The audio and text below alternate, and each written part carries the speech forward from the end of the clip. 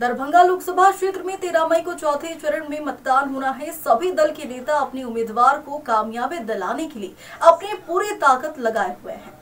इसी कड़ी में दरभंगा के ऐतिहासिक राज मैदान में 4 मई को प्रधानमंत्री नरेंद्र मोदी, एनडीए उम्मीदवार गोपाल जी ठाकुर के पक्ष में चुनावी जनसभा को संबोधित करने आ रहे हैं।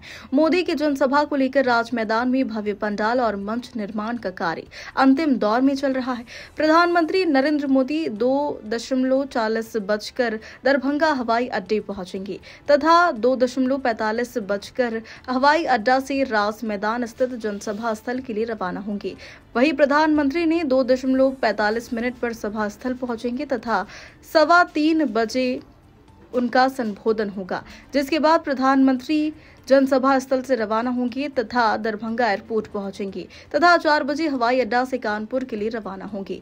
वहीं प्रधानमंत्री की सुरक्षा को लेकर व्यापक इंतज़ाम किए गए हैं। वहीं जनसभा की सफलता को लेकर भाजपा के नगर विधायक संजय सरावगी खुद राज मैदान में कैंप कर एक एक चीज़ को बारीकी से देख रहे हैं। वहीं मीडिया से बात करते हुए भाजपा के नगर संजय सरावगी ने तेजस्वी यादव की मोदी के चुनावी जनसभा को एम्स निरीक्षण के तंज पर कहा कि मिथिला के विकास की दुश्मन है तेजस्वी यादव। क्या दुश्मनी थी उन्हें मिथिला से जो उन्होंने सत्रह महीने तक एम्स को लटका दिया? मिथिला के लोग आपको कभी माफ़ नहीं करेंगे। मिथिला के विकास के दुश्मन है तेजस्वी यादव जी। क्या दुश्मनी थी मिथिला को उनसे? क्यों उन्होंने ऐसा किया? सत्रह महीने तक एम्स का रोड़ा अटका दिया उन्होंने। डीएमसीएस में बन रहा था।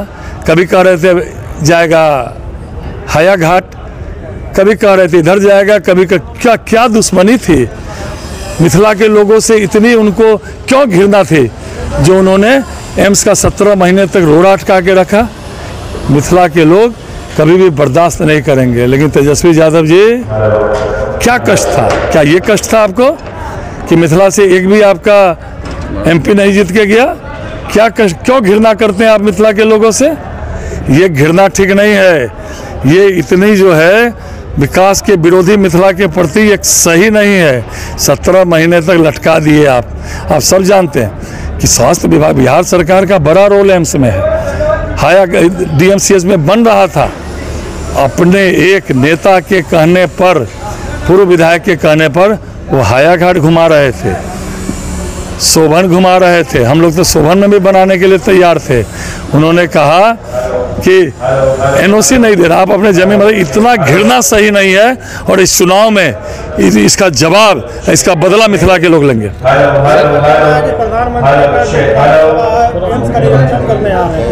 ज़रूर ज़रूर।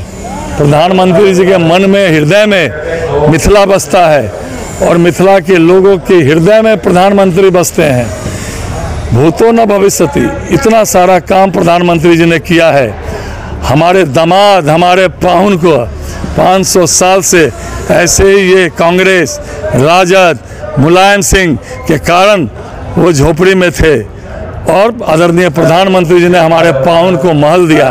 वो प्रधानमंत्री जी, आ रहे पाँच करोड़ लोगों को तो उन्होंने घर दिया ही दिया देश के। लेकिन मिथिला के लोग सबसे ज़्यादा आह्लादित हैं। हमारे दामाद, हमारे पाहुन को उन्होंने महल नुमा मंदिर बनाया। वो प्रधानमंत्री जी पहली बार आ रहे हैं। मिथिला के लोग भावनात्मक रूप से उनका स्वागत करने वाले हैं। प्रधानमंत्री जी तो आप जानते हैं, विश्व के सबसे बड़े नेता हैं। उनके साथ राजा गठबंधन के सभी नेता आ रहे हैं। और बड़ी व्यवस्था की गई है। आम लोगों को तकलीफ़ थोड़ा भी नहीं होगा, जरा भी नहीं होगी। आम लोग आइए, अपने लोकप्रिय नेता को सुनिए। थोड़ी भी तकलीफ़ उनको नहीं होगी।